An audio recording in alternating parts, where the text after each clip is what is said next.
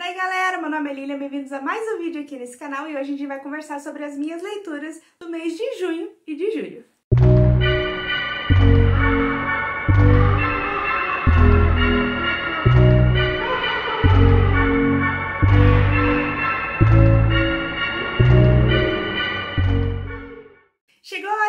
Falar um pouco sobre as minhas leituras, os livros que eu li ainda no mês de junho e de julho. Geralmente eu faço esse vídeo por mês certinho para contar para vocês tanto os lidos quanto os assistidos do mês, mas acontece que meu ritmo de leitura diminuiu bastante e eu acabei lendo menos livros nesse período e achei melhor então deixar juntar dois meses para eu não fazer um vídeo aí falando de dois, três livros. Então vamos lá ao primeiro lido então do mês de junho. Esse livro foi o A Nossa Parte de Noite, da Mariana Henriquez. Na verdade, foi uma leitura que eu finalizei no mês de junho, eu iniciei lá então no mês de maio. E essa foi uma leitura que foi um pouco complicada para mim. Ela teve momentos que foram muito legais, teve momentos que foram super para baixo, assim, que me desmotivaram um pouco de continuar a leitura. Teve diversos momentos que eu tive algumas quebras de expectativa, achando que o livro ia para um lado e ele acabava indo para o outro.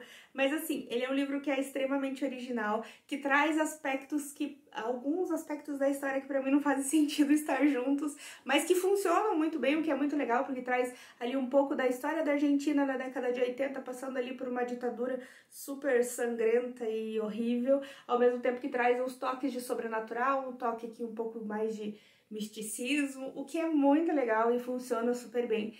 Mas é claro, é aquele calhamação de 540 páginas, se eu não me engano, que você tem que estar tá na vibe realista, você tem que gostar desse, desse estilo de escrita e tudo mais, mas eu achei super legal conhecer um pouco mais sobre a, da escrita da Mariana, ver ela escrevendo então agora um romance, apesar de eu não ter lido os contos dela. Mas achei super legal, trouxe uma visão de uma argentina que eu não conhecia e eu nunca tinha lido nada de nenhum autor argentino e achei que valeu super a pena e que o clube realmente fez aquilo que ele é proposto para fazer, que é te proporcionar a ele leituras que talvez você não escolhesse sozinho. Então tem vídeo aqui desse livro no canal lá, eu destrincho bem mais sobre ele, caso você esteja aí na dúvida se quer ler ou não. Logo em seguida, eu li então o Stephen King do mês, que na verdade aqui é o Richard Beckman, que é o concorrente, que foi a leitura de junho do nosso projeto, fechando ali um ano de projeto, o ultíssimo livro desse ano. E foi super legal, foi super gostosa essa leitura. Era uma leitura que eu não estava super animada por causa das outras experiências que eu tive lendo os outros livros de Beckman que teve até agora no projeto. Mas esse aqui eu quebrei a cara, foi maravilhoso, super bem desenvolvido, super fluido, você lê muito rápido porque você quer saber o que vai acontecer com o personagem, você se importa com ele e traz ali um background, um futuro ali distópico super bacana, super com é, coisas bem legais de serem discutidas que ainda que funcionam né, na nossa sociedade também essa discussão. Então acho que aqui o, o Stephen King mandou muito, muito bem. É, e acho que esse livro merece uma adaptação super fiel a ele mesmo, porque é muito massa. Também tem resenha aqui no canal, então se você quiser conferir um pouco mais e também eu falando da adaptação que já existe dele, dá uma olhadinha lá no vídeo. Seguindo as leituras do projetinho de El Rio, e esse aqui foi um dos que me segurou bastante ao longo do mês, que foi o Mestre das Chamas, aqui que eu li acho que ao longo do mês de junho. E ele é um livro de quase 600 páginas, ele já é grandinho mesmo, e ele é um pouco mais demorado para ler, apesar de chegar uma parte do livro que você começa a devorar porque você quer muito saber o que vai acontecer. Mas ele me lembra muito alguns aspectos de A Dança da Morte, inclusive tem diversas referências aqui, referências infinitas à Dança da Morte, o que é super legal. Mas teve um pedaço aqui do livro que remeteu muito a um pedaço que eu não gostei da Dança da Morte, que me cansou bastante. Então eu dei aquela desacelerada. Mas assim, o livro, isso é um, sei lá, digamos umas 100 páginas, pelo menos para mim. Depois, o resto do livro, ele é muito frenético, assim, você quer muito saber, mas é que eu estava lendo menos e ele é muito grande. Porque o John não consegue, né, escrever uns livros pequenininhos. Mas tudo bem, e eu acho que funciona super bem, pelo menos para mim. Foi um super, assim, que se tornou talvez um dos favoritos. E eu super recomendo também a leitura desse livro. Já tem resenha aqui no canal, lá eu falo mais e mais e mais. Estou aí na fila esperando uma adaptação dessa história que é muito massa. Encerrando o mês de junho com chave de ouro, temos o meu queridinho Ana Karenina do Tolstói, que foi, assim, outra Everest, né, que 800 páginas de leitura, que é, é muito diferente, é muito intenso, é muito eu não sei descrever, eu acho que literatura russa deveria ter um adjetivo próprio para eles, assim, para você descrever o que tá acontecendo. Pelo menos no, na minha a minha experiência que eu tive com os livros, eu só li outras três novelas do Tolstói e foi a mesma coisa, assim. É, são assuntos muito peculiares, são visões do mundo diferentes e funcionam muito bem, pelo menos para mim. Eu acho que é muito legal. Às vezes ele tá narrando umas coisas que não tem nada a ver com coisas que eu gosto, coisas que eu tô interessada e eu tô presa na leitura. Então eu acho que isso é para poucos e o Tolstói faz super bem. Não tem uma escrita difícil, a, a linguagem dele é super acessível, não precisa ter medo de encarar isso, encarar um livro dele por causa disso.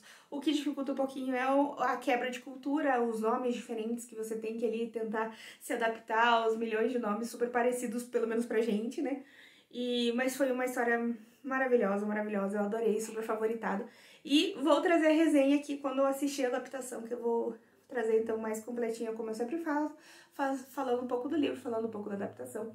Então, talvez já tenha saído quando lançar esse livro, mas se, se não saiu, vem aí. Segundo as leituras do Joe Hill, então, agora já no mês de julho, essas leituras, eu tinha pensado em talvez dar uma parada no projeto de Joe Hill, porque eu estava um pouco cansada, talvez, de ler. É, eu não queria gastar tudo que eu tinha do Joe Hill pra ler, mas acontece que eu terminei Mestre das Chamas e eu gostei tanto que eu falei, ah, dane-se, vou pegar o próximo, que foi então O Tempo Estranho, que é um aí dos últimos dele, né, o penúltimo. Penúltimo não, é, penúltimo. É, esse aqui também mais no mesmo estilo de Quatro Estações, é, vai trazer quatro novelas aqui. É um livro um pouco menor, 450 páginas, então vai trazer aí, mas são novelas, ou novelas pequenas ou contos grandes, que eu gostei bastante, achei bem interessante. Teve dois aqui que eu gostei mais do que os outros dois, né? Dois preferidos. E em especial um, assim, que vai lá em cima, assim, de O Rio Master, que vale muito a pena, que é o segundo conto desse livro que chama Carregado.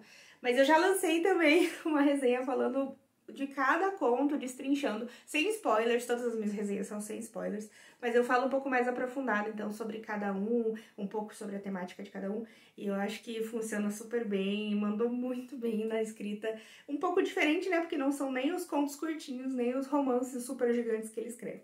Então, fica aí minha recomendação, porque é um baita livro. Iniciando então o segundo ano de leituras do King, né, em ordem cronológica, O Pistoleiro, né, que é o primeiro volume da Torre Negra, que é aquele livro assim que eu fui achando que eu ia levar aquela escorregada, porque o pessoal fala assim, horrores desse livro. Eu não sei o que, que ele fez para todo mundo, detesta tão ele, ou se é pelo que eu ouço falar que o segundo é muito melhor do que o primeiro, talvez seja por isso. Mas eu achei super legal esse clima de mistério que você é, que ele constrói nesse livro. Você sabe que o pistoleiro tá indo atrás ali do Homem de Preto e é basicamente isso que acontece. Mas eu acho que funciona super bem para mim, dá para você criar diversas teorias da conspiração. Para mim, em especial, que estou seguindo o cronograma do projeto, o segundo livro vai vir só no ano que vem, acho que lá para abril por aí, abril ou maio. Então, até lá eu posso ficar criando teorias e eu acho que vai funcionar super bem. Provavelmente vou amar o resto da série como todo mundo ama.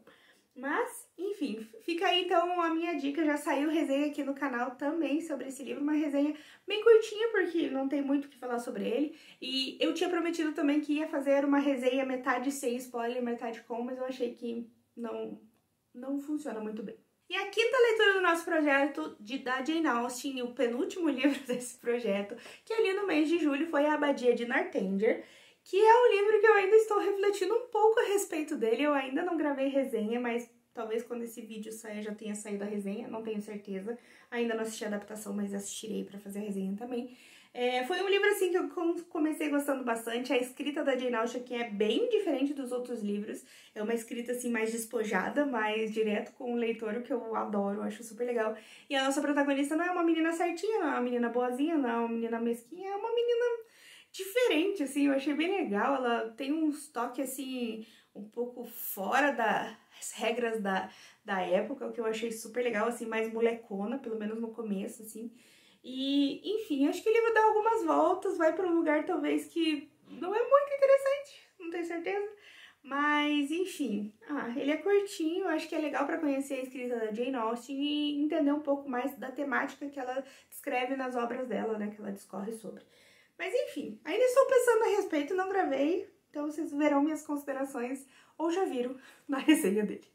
E por último, mas não menos importante, ao longo do mês de julho a gente deu início ao nosso projeto de Lendo Conde Monte Cristo, que seria em dois meses, mas vai acabar sendo em dois meses e meio, mais ou menos. A gente deu uma esticadinha no cronograma para todo mundo conseguir acompanhar, para ficar mais tranquilo para todo mundo, porque a gente sabe que a maioria das pessoas tem outras leituras paralelas, participa de outras leituras coletivas, então é sempre necessário e até pra gente mesmo, né?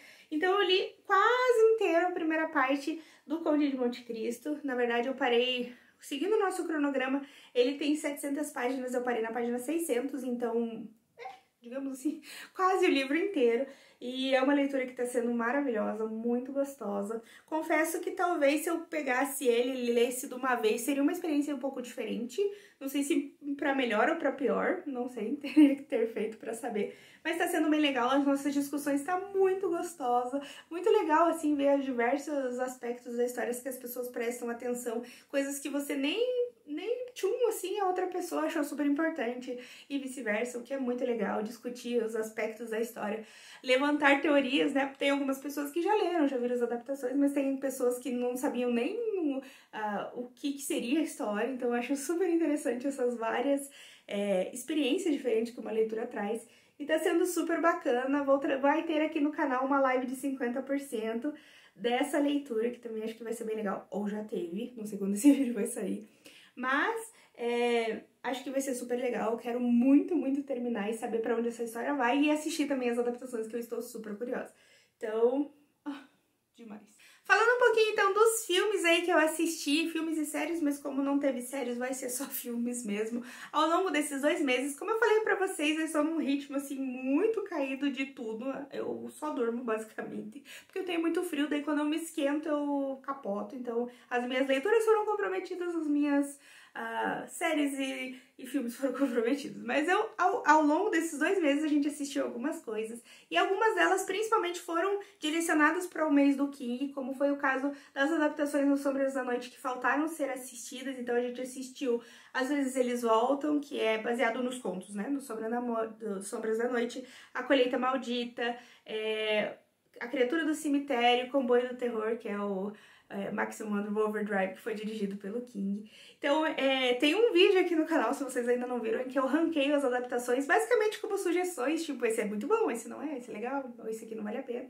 Tipo disso, sem, claro, spoilers dos filmes, se vocês ainda não assistiram, dá uma conferidinha lá que ficou bem legal, que são todas as adaptações desse primeiro ano de projeto de Stephen King. Então a gente teve que assistir alguns aí meio que na corrida ali no final, para eu conseguir fazer esse vídeo e trazer essas sugestões para vocês. Outro que a gente acabou assistindo foi O Sobrevivente, né, que é a adaptação de O Concorrente com o Arnold Schwarzenegger, que foi um filme que eu gostei bastante, esperava aquela farofice sessão da tarde, que de certa forma até é, mas eu acho bem legal, é uma outra abordagem da história, basicamente é só inspirado, não, não diria que é uma adaptação da história, muda diversos aspectos, mas funciona super bem, eu achei super legal, tem diversas críticas à sociedade que também traz no livro, então acho que assim, o a emoção ali, o sentimento da obra foi captado e passado, mesmo que não tenha todos os aspectos que caracterizam necessariamente o livro. Um filme que a gente assistiu então em junho que foi perfeito, inclusive acho que eu já assisti umas três vezes, que foi o Cruella, né, que foi lançado pela Disney, que vai contar a história, a origem da Cruella, né, um, eles acho que praticamente inventaram, né, acho que isso não existia, que é a vilã do 101 Dálmatas, um dos meus é, desenhos preferidos aí da vida. E Cruella funcionou super bem. Eu estava assim um pouco ansiosa porque às vezes a Disney faz algumas coisas assim meio cagado, mas Cruella, nossa, veio num tom muito legal. Traz a Emma Stone no papel principal, que é uma atriz maravilhosa, adoro ela, ganhadora de Oscar, já é a menina é alucinada. E ela faz muito bem o papel, tem ali um equilíbrio muito legal entre a fanfarrice, entre a aventura com os toques da Cruella mesmo, né, a, a vilã, eu achei super da hora, a trilha sonora tá perfeita, então vale muito a pena assistir, eu não sei se agora ele já tá no Disney Plus é, oficial, porque no começo, quando ele saiu, né, lá nos Estados Unidos, ele vinha pra você alugar aqui no Brasil e tava, tipo, 80 reais, no thank you, mas eu não sei se ele já entrou no catálogo agora do Disney Plus mesmo, mas vale muito a pena conferir essa obra, porque ficou chuchuzinha. Outros dois filmes que a gente assistiu ali num momento assim super de empolgação, falando vamos assistir tudo e animado e feliz, foi o Rua do Medo, que é uma, uma proposta muito legal que foi lançada na Netflix, que é uma trilogia de terror que foi lançado com uma semana de diferença cada um deles. A primeira parte se chama 1994, a segunda parte se chama 1978, se eu não me engano. Se eu, não, se eu errei a data, eu coloco aqui embaixo. E a última parte é o 1666. E como a gente estava muito emocionado, a gente assistiu então o 1994 primeiro, que foi um filme que. Eh, ok, mas é que o a deixa que ele deixa para os outros filmes que vão vir é muito interessante, muito legal eles estarem linkados e depois você vai descobrir o porquê deles estarem linkados, que é muito bacana. Mas o segundo filme, então, da década de 70 é maravilhoso, muito bom mesmo. Se você gosta do gênero de terror, se você gosta, assim, de uma coisa assim mais trabalhada, com boas atuações, funciona super bem. Eu achei super incrível, assim, ele é muito melhor do que o primeiro. Só que a gente ainda não assistiu o terceiro porque a vida é assim, né? A gente tá super empolgado e daí acabou-se tudo.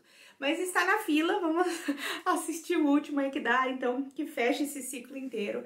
E temos que agilizar isso para não perder as referências dos outros que a gente assistiu. Que a gente assistiu. Mas enfim, fica aí a dica para vocês, pelo menos o primeiro e o segundo são muito bons. E por último, mas não menos importante, finalmente assistimos Velozes e Furiosos 9, que foi um filme que eu gostei bastante. Eu gosto muito da. Você acaba se apegando aos personagens e a narrativa e tudo mais. Apesar de eu achar que o, os filmes tiveram assim, uma queda muito, muito grande depois né, da morte do Paul Walker, porque tinha uma dinâmica muito legal entre ele e o Vin Diesel. Mas eu acho que funciona muito bem. O 8 eu achei bem melhor, na verdade, que o 9. Mas ainda se mantém, ainda se justifica. Eu acho que funciona, assim, de certa forma legal. Tem uma enxurrada de gente que aparece nos filmes, o que é super legal.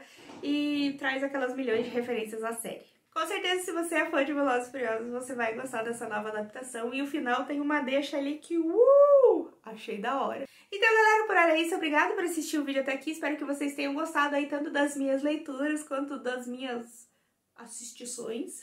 se vocês já viram esses filmes aqui, se vocês já leram esses livros, deixa aqui embaixo o que vocês acharam. Se vocês têm vontade também de assistir ou ler algum deles, me conta aqui todas as suas percepções. E a gente se vê então por aí. Não, pera, se você não é inscrito, se inscreve no canal. Se você não curtiu, compartilhou, ativou o sininho, faz tudo isso agora que você ajuda muito ali no livro. E agora sim a gente se vê por aí.